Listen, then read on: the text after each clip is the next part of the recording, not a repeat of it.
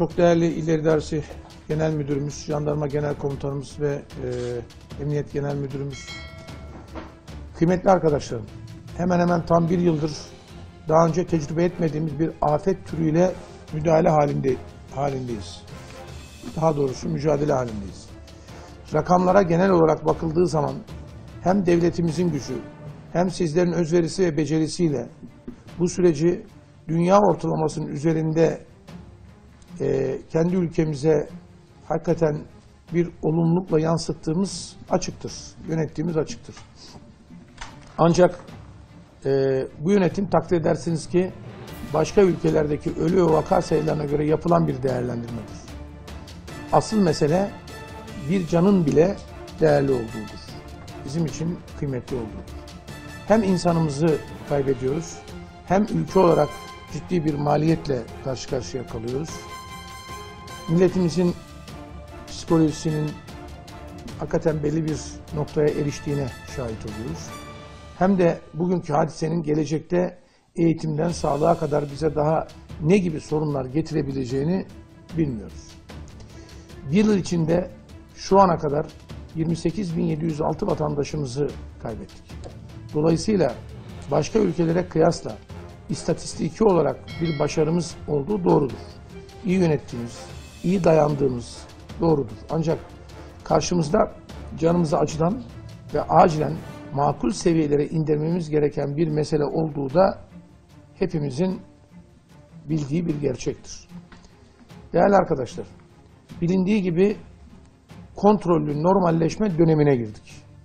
Sayın Cumhurbaşkanımızın kontrollü normalleşme olarak kamuoyuna takdim ettiği ve ardından paylaştığı harita iki gündür hem televizyon ekranlarında hem de sosyal medyada sürekli kullanılıyor.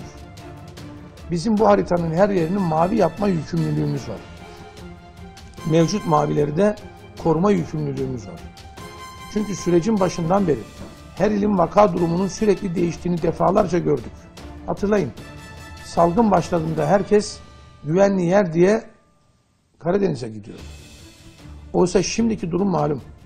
Dolayısıyla hiçbir yerde rehavete kapılmamak durumundayız. Bu yeni döneme ülke genelinde kontrollü normalleşme adını verdik. İçişleri Bakanlığı açısından da bu yeni dönem yoğunlaştırılmış dinamik denetim modeli olarak adlandırdığımız bu yeni dönemde yoğunluklu denetim için adımlar atacağız. Rehberliği esas alan yoğun bir alan yönetimi, görünürlük ve ısrar yarından itibaren yeni karakterimiz olacak. Yarın inşallah 260 bin kişilik bir denetim uygulayacağız. Bunu daha önce de yaptığımız gibi kampanya ile kampanya gibi vatandaşımıza hem farkındalık oluşturabilmek hem denetimi önceden haber vermek ve vatandaşımızın bu konuda hakikaten hem temizlik maske mesafe hem de belirlenen kurallara riayet etmesini esas alan bir bildirimde bulunmuş olacağız. Bakan yardımcılarımız, jandarma genel komutanımız ve emniyet genel müdürlerimiz, emniyet genel müdürümüz, valilerimiz, kaymakamlarımız yarın sahada olacaklar.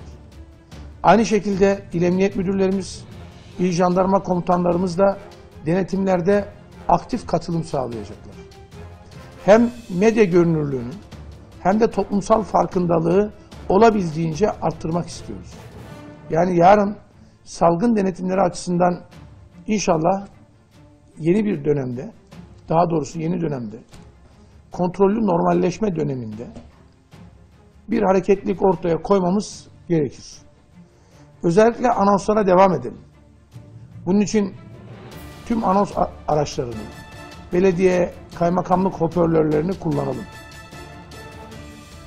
Hatta biliyorsunuz bazı kampanya dönemlerinde gerekirse anons aracı bile gezdiriliyor. Ama bizim hem e, polisimizin hem de jandarmamızın araçları sesli olduğu için bunu bununla temin edebilme imkanımız söz konusu.